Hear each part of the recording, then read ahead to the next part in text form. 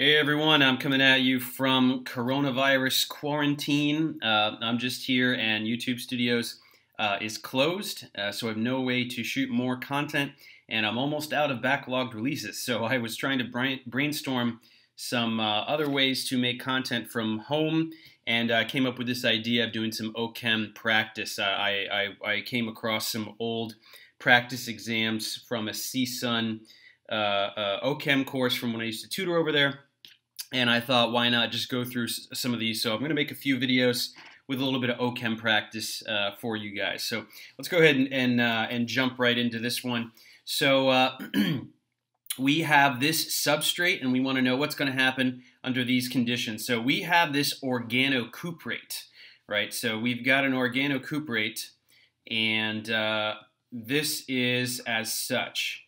We've got two ethyl substituents Right, and the copper bears a negative charge, and then we've got a lithium counter ion. So I, I do have a tutorial on organocuprates. If this looks unfamiliar, you can go uh, and check that out. But what these do, this essentially just delivers uh, an alkyl nucleophile. So we're going to be able to do this.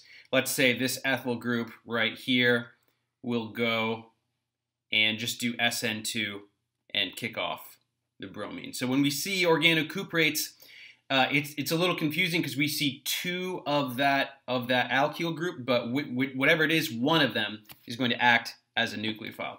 So what do we end up with? We've got the same molecule. So that's the that's the carbon that was attacked, and then we need to have two more carbons on there. So these are the two additional carbons that came from that uh, organocuprate.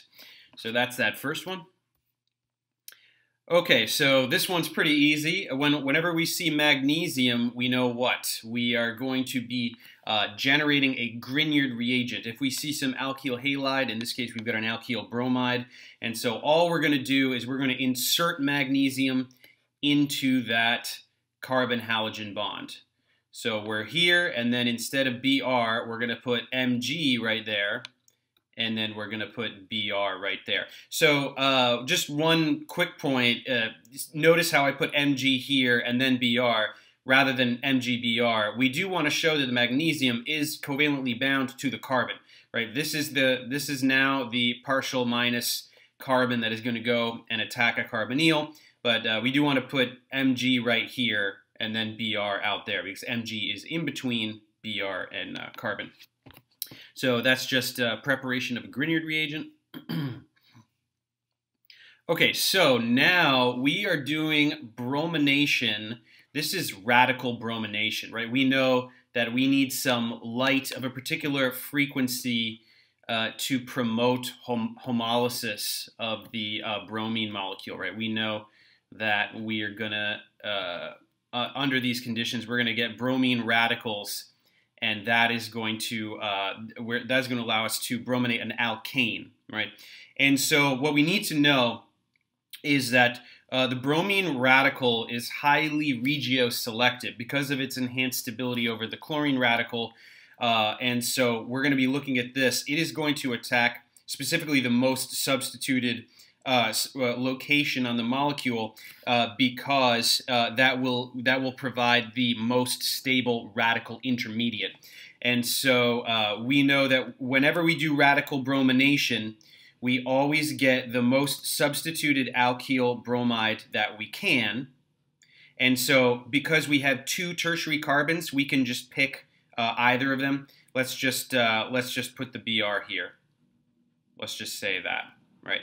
So we're going to add that bromine atom right there, and that's going to be the answer for that one. okay, moving on, we have this alkene substrate, and we are going to hydrogenate over, in this case, uh, a palladium catalyst. And so we know that when we do this, we're hydrogenating, uh, we're hydrogenating the pi bond. We're going to put two hydrogen atoms on there and so all we have to do is get rid of the pi bond. That's all we're going to do there. So uh, that is the case there. Alkynes, we also can hydrogenate alkynes. And uh, were there, uh, were, were it the case that we would be producing chiral centers, then we would have to know that it is a syn addition, but in this case it's not relevant, so we just get rid of the pi bond, and that's all there is to it. Okay, just a couple of uh, multiple choice here. So uh, number one, cyclobutane is less stable than cyclohexane, primarily due to. So we've got some options here. Uh, remember, cyclobutane, it looks like that, and cyclohexane looks like this. So what do we know about these molecules? Well, we do know that cyclohexane is an extremely stable cyclic molecule because all of the sp3 centers obey perfect tetrahedral geometry. These are all 109, whoops, 109.5 degree bond angles, right? So this is there's no strain on any of the carbon atoms, any of the carbon-carbon bonds or carbon-hydrogen bonds in this molecule. Whereas for cyclobutane, which is essentially a square, what do we know about the angles in a square? Well, those are 90 degree angles, right? And uh, 90 degree angles, that, that forces certain electron domains to be closer together than they would be under, you know, these are still sp3 centers, right? Any sp3 center uh, will prefer to have tetrahedral geometry in 109.5 degree bond angles. So this is angle strain, right? The, the, the, the, the lower stability of cyclobutane is attributed to these compressed bond angles. So it's not torsional strain. That would be like if you were looking at a Newman projection and you had some gauche interactions or something like that. That's a kind of steric strain and it's not steric strain in general. Right? It, it is it is due to the compression of these bond angles beyond what they would prefer to be. So that would be angle strain. Now, a molecular orbital can be occupied by, and so we don't even care this is a molecular orbital. Any orbital, any orbital can be occupied by a maximum of two electrons, right? Uh, there can be two. Uh, there can be zero, one, or two electrons in any orbital, whether atomic orbital, hybrid atomic orbital, molecular orbital, uh, and they must have. If there are two electrons, they must have opposite spin. Right? We know that because of the Pauli ex exclusion principle. Uh, no two electrons in a system can have the same set of quantum numbers. And so in the same orbital, they have three out of the four quantum numbers identical, but that fourth one, the spin quantum number, will be opposite so that it does not violate the Pauli exclusion principle. So any orbital, maximum two electrons. Covalent bond homolysis forms, and uh, we just saw an example of this when we saw the uh, radical bromination of, uh, of that alkane, right? That would be like this. This is covalent bond homolysis, right? Homolysis involves these single-headed electron pushing arrows which denote the motion of one electron at a time. This is different from what we usually see in most mechanisms, which is heterolysis, where, uh, right, let's say you have, uh, right, some uh, alcohol, let's say a base takes this proton. Now notice the double-headed arrow. This would be heterolysis both of the electrons in this bond go to oxygen. So homolysis is different, and this affords us with, in this case, bromine radicals. So homolysis, we want to associate that with radicals. Okay, now we have an IUPAC. This is a pretty easy one. Uh, let's go ahead and identify the longest carbon chain. We know that when we're doing IUPAC, we always want to identify the parent chain, which has to be the longest carbon chain. That's one of the rules of IUPAC. So we got to go up this way. We got to go up here because that is a longer carbon chain. Remember, don't just take whatever's in the in this in this uh, line here, left to right. If there's a longer chain, you got to use that. So that's going to go up there.